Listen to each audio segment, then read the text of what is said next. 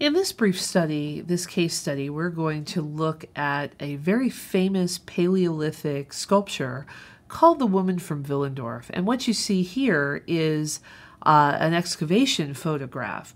She was found purely by accident by railroad workers in Austria, in uh, Willendorf, Austria, as they were building a new railway line.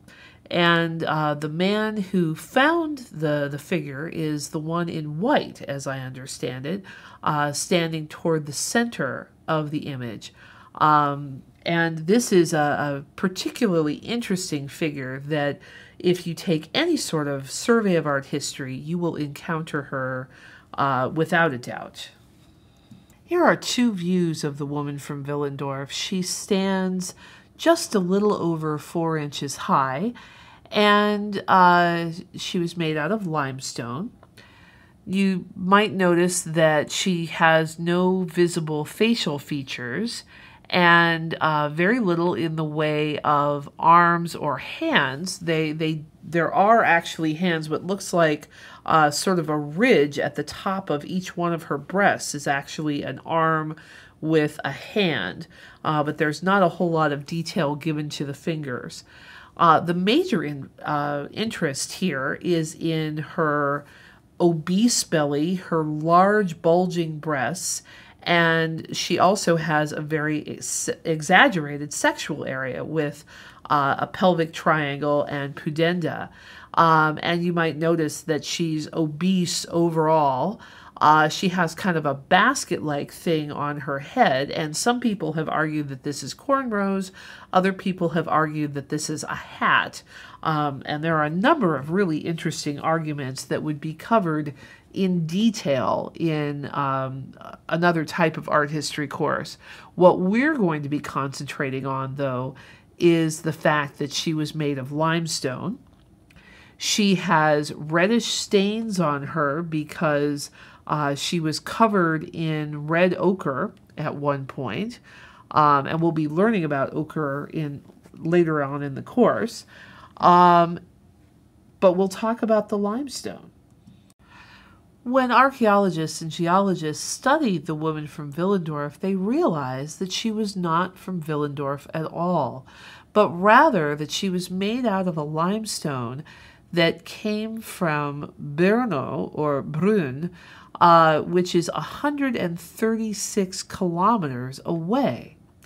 And to further complicate things, and I'm, I'm showing you the, the map and then a, uh, a rock outcropping uh, of that same sort of limestone, the um, tools that were found in digs accompanying the woman from Willendorf, those were Nordic flint that came from about the same distance away again. So another 136 some kilometers away. So we have a tremendous distance uh, that this tiny four to four and a half inch figure would have traveled. And so we know that she must have been important, but of course, what's so difficult about uh, looking at prehistoric works of art is that we have no written record to tell us what these people were thinking and why they did what they did. When the woman from Willendorf was first discovered, she was jokingly called a Venus figurine. And this was kind of a 19th century sort of snide way of looking at this obese figure and comparing her to the Venus figures of Greece and uh, of, of Roman and Greek art. Uh, of course, in, in Greek art, it's Aphrodite. Um, but this notion that uh, she should be seen as a goddess of love is a response to her exaggerated uh, sexual organs, to her nudity, um, and also, like I said, kind of a, a, a, a nasty dig at her that she doesn't look the the part of a uh, a present day Venus. But there might be a little bit of something to this. Uh, the exaggeration of uh, all of these sexual organs and these areas associated with childbearing and child rearing could be references to fertility. Um, and it's very possible that this Venus also represented a sort of ideal in the Paleolithic world. Because, of course, remember that Paleolithic peoples are hunter gatherers.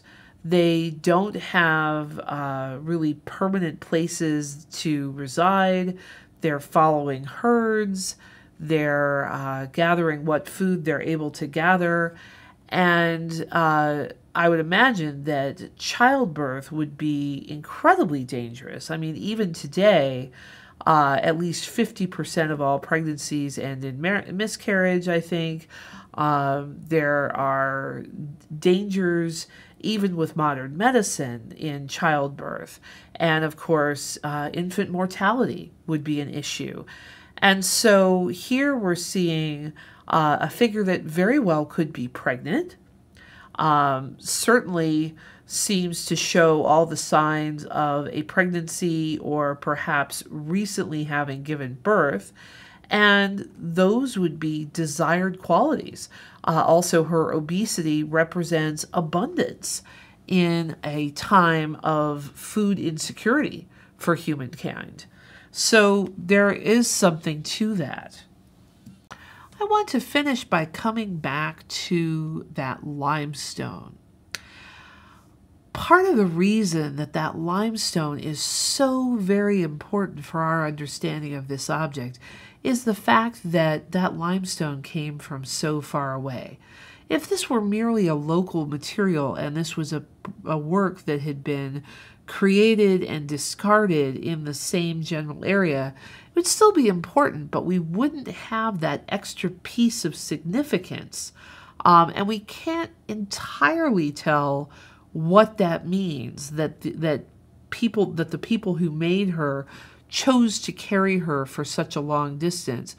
But clearly, something about this figure was important. It's also possible that the material itself was considered important. Um, and we may never know the answer to these questions, but here's an example of uh, material having a crucial role to play in our under in what we can understand about this very early work of art.